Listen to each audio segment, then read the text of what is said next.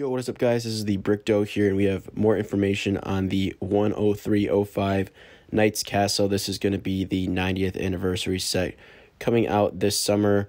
Uh, I made a video about this when we heard the initial information about this, but since then, we have some exciting new details, and I think um, personally, this is one of the sets I'm most excited to see official images of.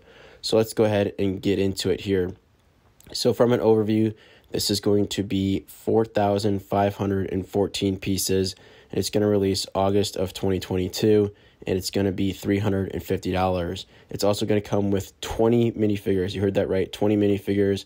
Also come with two horses, a cow, and many, many rooms uh, included in this castle. So Promo Bricks has done a, a really nice job here. Uh, I would recommend checking out their site, um, sort of giving you a rundown of this set and one of the uh, things I like about the fact is that they went ahead and made a pretty detailed drawing here of what we can expect.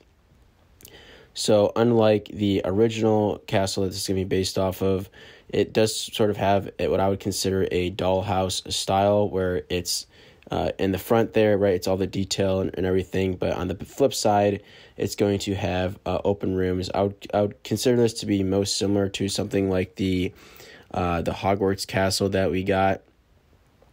Now, originally, I wasn't a, you know a huge fan of this style of building.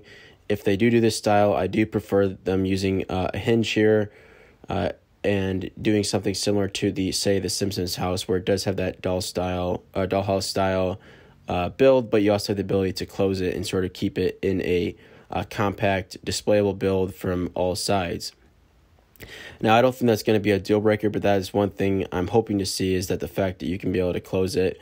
Um, but again, it's kind of nitpicking here. I think just based on the stats alone, um, I think many people like myself are really excited to see uh, what this can look like. So, like I said, I did make a video about this uh, quite a while ago when we got the initial information.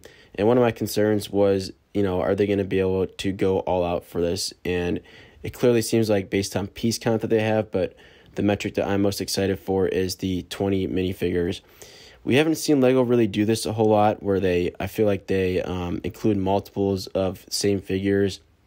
That was something that I feel like they really did back in like the castle uh, sets in like the 2000s and things like that. And they used to even do it for Star Wars sets, you know, with droids and things like that. But since then, they I feel like they've kind of gone away with that and gone for more of like a variety of minifigures, or in general, I'd say trending towards less minifigures. But as you can see here, we're gonna get twenty minifigures.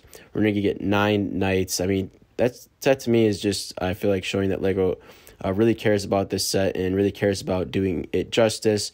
With it being the 90th anniversary set, I think overall we can say that Lego has done a, good job. I feel like in listening to the feedback uh, for this particular set and I believe the you know designers and everything like that. I'm I'm glad that we have 20 figures here and we have tons of knights.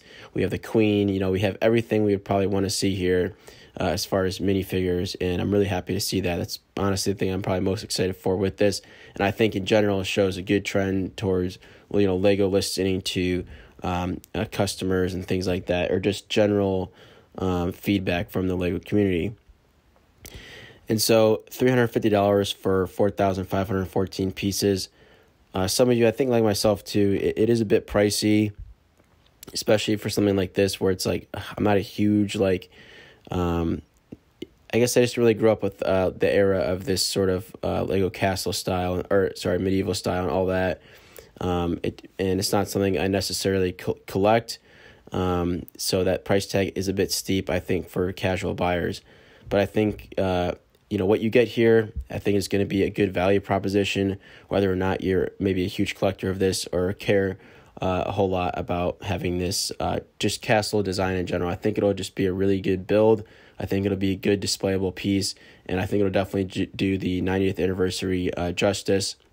So i'm curious to hear what you guys think about the set overall uh, uh, the minifigure selection and the style of build up they chose uh, with sort of the open back and front facing display uh, style.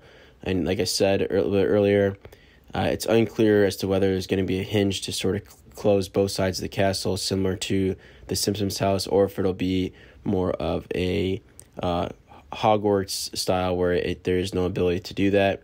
But other than that, Um, let me know if you think you'll be picking this up, and let me know if you're excited to see the official images. Because, like I said, this is probably uh, one of the sets I'm most excited to see official images for. Uh, given this information, I think it's going to be a lot of hype going into this set, and I'm excited to see uh, what's in store officially. All right, guys, let me know your thoughts down below. If you guys are new here, don't forget to like, comment, and subscribe. Until next time, guys, this is Brick Duo signing off.